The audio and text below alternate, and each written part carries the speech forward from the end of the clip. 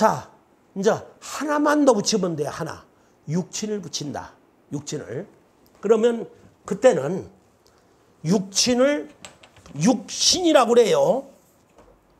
자, 육친과 육친과 육신의 다른 점.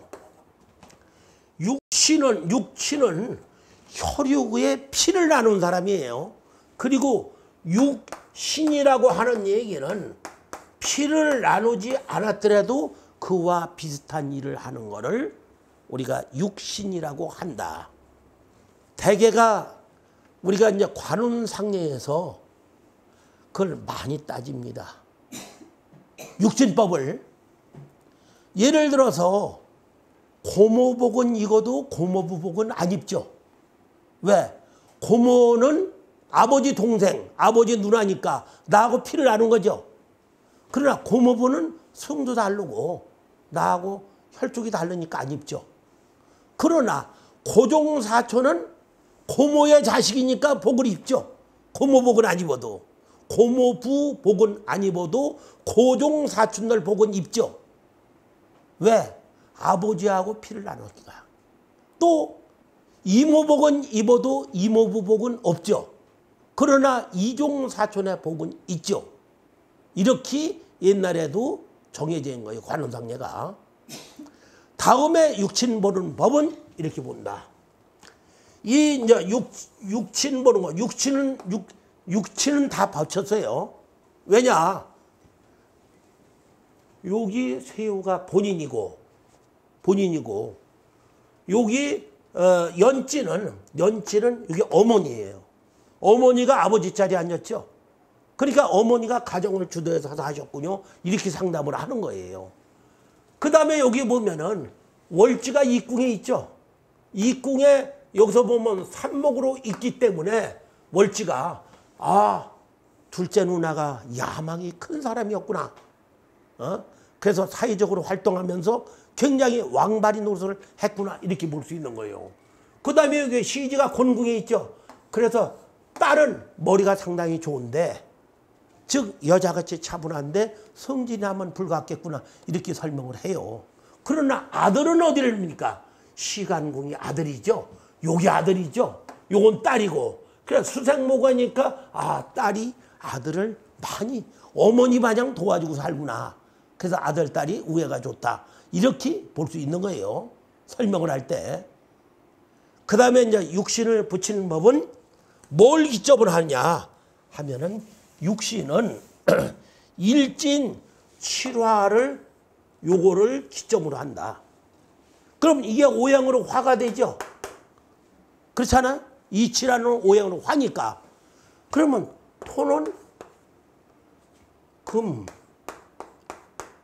수, 목 이렇게 구분이 돼요. 그래서 이 목은 나한테 부효라는 효를 붙이고 수라고 하는 얘기는 우리가 어, 정관, 평관으로 두 개를 갈라요. 어? 어, 관이라는 것과 귀라는 거로 두 개로 갈른다고. 그리고 금은 재라고 하고, 재. 그러니까 정제, 편제를 그냥 재라고 하고, 요 토는 손이라고 한다. 손이라고 한다. 그리고 여기서 이화를 형이라고 한다. 에? 나하고 같은 동열. 그러면 하나, 둘, 셋, 넷, 다섯, 여섯. 그래서 육신이라고 한다. 이제 요것만 붙이면 되죠. 그러면 칠화니까 요 이화는 형요라고 하고, 어? 형요라고 하고, 요 오터는 화생토니까 여기는 손유라고 이렇게 하고 요거는 음양이 같으니까 귀라고 하고 귀라고 하고 요건 음양이 다르니까 관이라고 한다. 그 다음에 요거는 자 화생 목생화니까 요거는 다 부요라고 하고 요거는 우리가 화극금 하니까 재라고 한다. 재. 자, 이 사람은 사령탑이 뭡니까? 중궁이죠. 중궁에 제가 있으니까 마누라가 가정사 다 골보면서 꼼꼼하고 비틈이 없다. 당신은 장가 들어야 돈이 돼요 하고 상담도 해주는 거예요.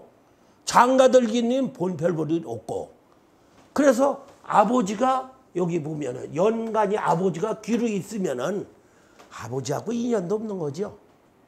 이 아들 낳고 아버지가 돌아가실 수 있는 거예요.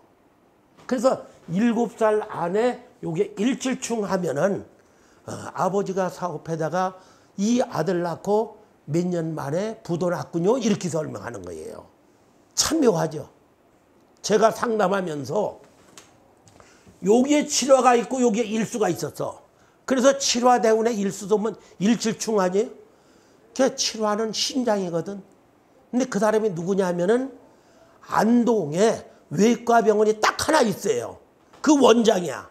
원장 사주를 봐주는데 이때 잘못하면은 심장마비가 오거나 심혈관수를 받고 심장을 칼을 대야 될 일이 생기겠소 했더니 그때 심장 이식 수술을 했답니다. 그런데 나이까지 딱 짚으니까 놀래더라고. 지문이 이렇게 무서운 거예요. 알고 보면은. 네? 예. 그래서 지금 여기서 보면은 이제 해설하는 방향을 해요. 해설하는 방향. 그러면 칠화가 무슨 방에 앉았어요?